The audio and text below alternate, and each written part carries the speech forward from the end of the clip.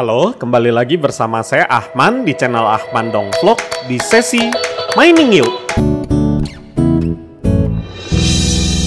Oke, di sesi Mining Yuk kali ini saya mau berbagi informasi ya mengenai VGA yang beredar di akhir tahun 2021 yaitu Gigabyte RTX 2060 versi yang kedua. Yang kalau teman-teman perhatikan ya, kalau para miner perhatikan uh, di akhir tahun yang lalu sempat beredar Gigabyte RTX 2060 dengan bisa dibilang low hash rate. Pada saat kita mining, hash rate-nya kita nggak bisa mendapatkan maksimum di 29 bahkan sampai 32 mH per second. Jadi setelah saya cari-cari informasi, jadi rupanya ada yang memberikan solusi nih ini saya mendapatkan informasi dari Google ya. Ini dari homemining.com.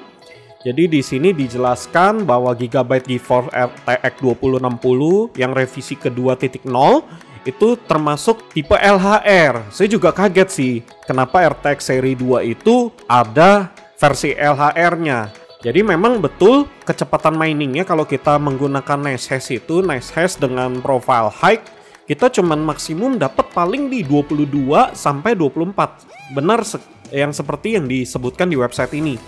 Nah, setelah saya cek, memang biasnya benar sama seperti ini 90.04 titik 63 titik 80 titik OF. Ini OF atau 0F ya. Ini OF ya anggap aja 0F ya. Nah, jadi setelah saya cek, rupanya dia uh, membagikan solusi untuk melakukan overclockingnya sesuai yang dia sudah tes. Nah kalau di sini uh, dia the best katanya bisa dapat di 24 setelah di tweak ya.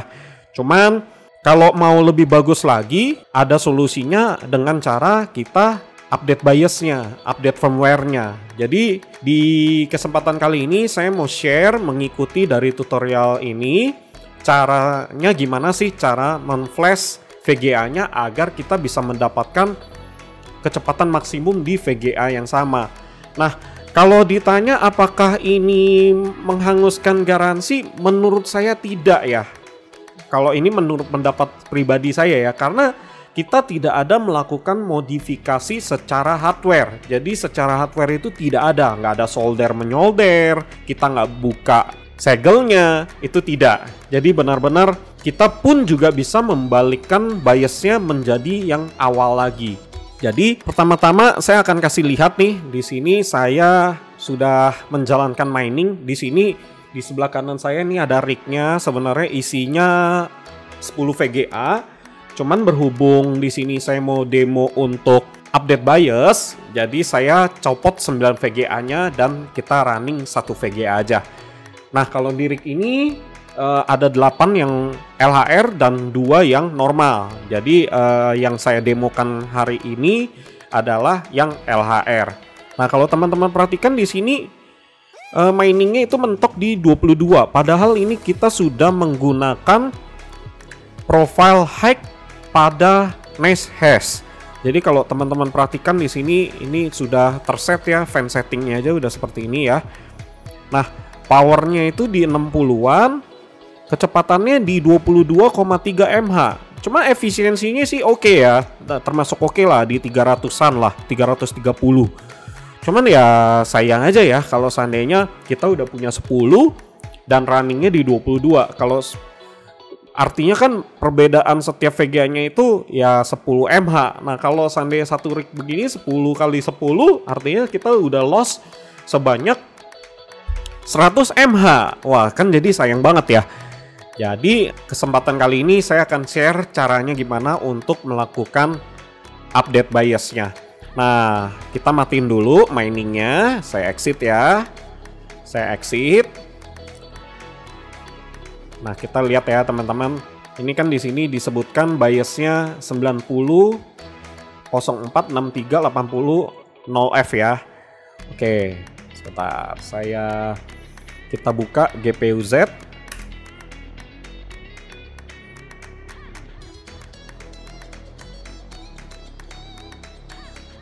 Sebelah-sebelahan aja ya biar biar biar enak lihat ya. Nah, gini. Nah, kalau teman-teman perhatikan di sini nih biasnya benar nih sama ya. 90 04 63 80 OF. Ya, artinya ini adalah yang versi LHR nih biasnya. Dan di sini saya sudah menggunakan driver latest ya per tanggal hari ini tanggal 30 Maret 2022. Jadi di sini saya menggunakan Nvidia driver 512.15. Oke. Jadi hal pertama yang kita lakukan, kita mendownload dulu.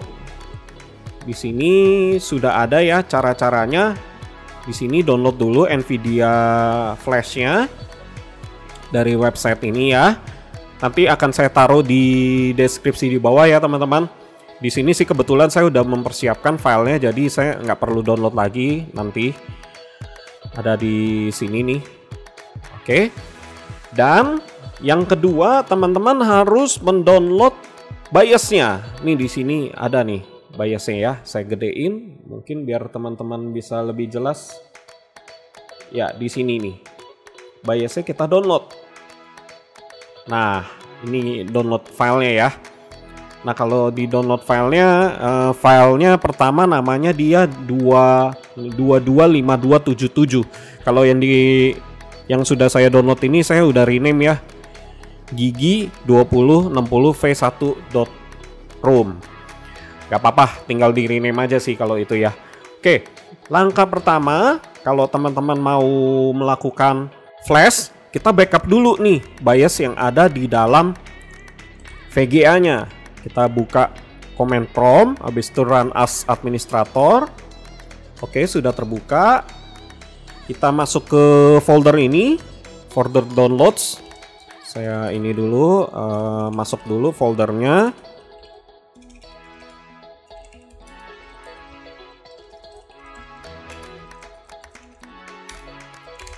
Oke. Kita copy nih nama ininya ya, nama perintahnya. Nah, ini backup roomnya teman-teman bisa namain nih. Contohnya backup gigabyte atau gig RTX 2060 LHR. Ini ya. Oke, kita backup. Kalau VGA-nya cuma satu, dia langsung tampilannya seperti ini nih teman-teman nah dia kasih tahu bahwa ini biasnya betul ya 80 uh, 0F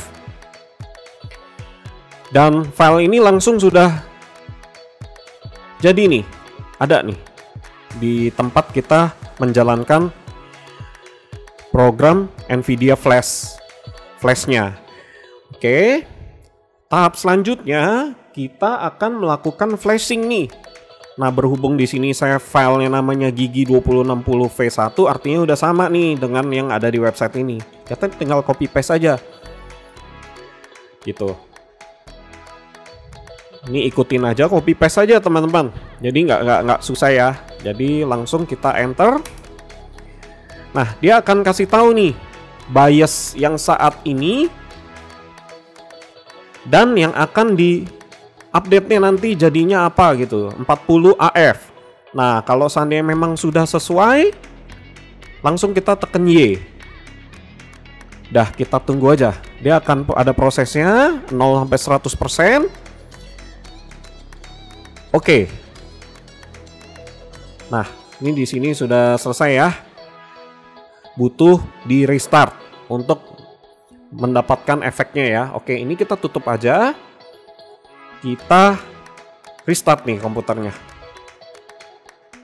Oke, kita tunggu dulu sampai komputernya hidup kembali. Nah, jadi benar-benar nih, teman-teman. Setelah saya ketemu cara ini, benar-benar miningnya bisa kembali ke yang normalnya, yang pada umumnya lah bisa sampai 29, 30, 31 bahkan 32 mH. Cuman di kemarin saya sudah tes ya sebelum saya demokan ini ke teman-teman semua. Bisa mining stabil itu di 29,9. Wah, itu udah udah oke okay banget ya. bisa dibilang 29 kurang 22 kan artinya udah selisih 7 ya. Artinya kalau 7 dikali 10 buah artinya kan udah ada 70 mh yang di kita selamatkan dengan cara ini. Dan ini adalah cara permanen, jadi tidak perlu ada action apa-apa lagi di setelahnya. Nah, oke. Okay. Ini udah masuk Windows lagi ya. Oke. Okay. Kita langsung jalankan miningnya nih. Ini disuruh mau update nggak mau. Oke. Ini sudah jalan. Oke ya. Teman-teman bisa lihat di sini saya menggunakan profile Sebentar. Di sini saya menggunakan profile hike nih, teman-teman. Profile hike ya. Oke, kita tunggu sebentar. Sampai muncul. Nah, di sini udah muncul. Kita mendapatkan speed 29,66 mh per second dengan listriknya 73,7 watt. Efisiensinya 400 loh teman-teman. Wah, mantep banget ya. Jadi ya ini udah seperti ya RTX 2060 yang biasanya lah bisa dibilang ya. Ya udah lumayan lah daripada jalan di running 22 nggak ada solusi ya masih lebih baik ini sih. Tuh, stabil nih 29,6 dengan 73,33 watt. Efisiensinya 400 mantep banget ya. Oke kita tunggu satu kali putaran lagi.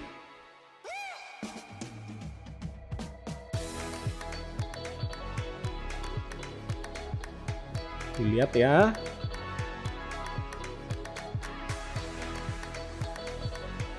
Oke, stabil ya teman-teman ya.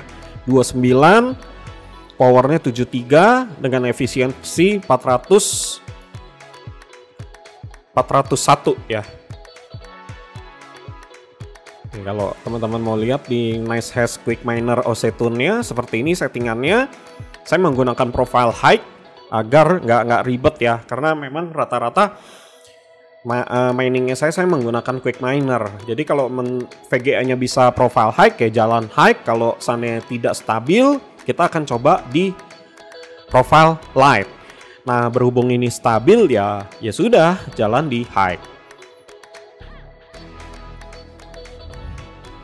Oke, sekian video tutorial ya bisa dibilang ya, tutorial flash untuk Gigabyte RTX 2060 versi LHR. Ya memang tidak disebutkan itu LHR, cuman ya karena dia MH-nya drop ya kita sebutlah ini adalah tipe LHR. Mudah-mudahan video ini bermanfaat buat teman-teman sekalian yang mempunyai VGA dengan tipe yang sama dan bisa mengupdate biasnya agar mendapatkan full speed lagi nih VGA RTX 2060 nya mudah-mudahan video ini bermanfaat share ke teman-teman semua biar semua orang yang mempunyai VGA yang sama bisa mendapatkan full hash rate nya ya oke? Jangan lupa komen di bawah apabila ada pertanyaan. Jangan lupa like apabila teman-teman suka dengan video seperti ini. Dan jangan lupa subscribe channel saya untuk mengikuti update video saya selanjutnya. Oke, sampai ketemu di video yang akan datang dan tetap semangat.